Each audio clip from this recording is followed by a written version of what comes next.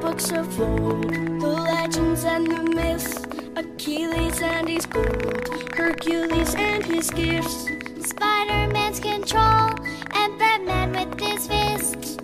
And clearly I don't see myself upon that list. But she said, Where'd you wanna go? How much you wanna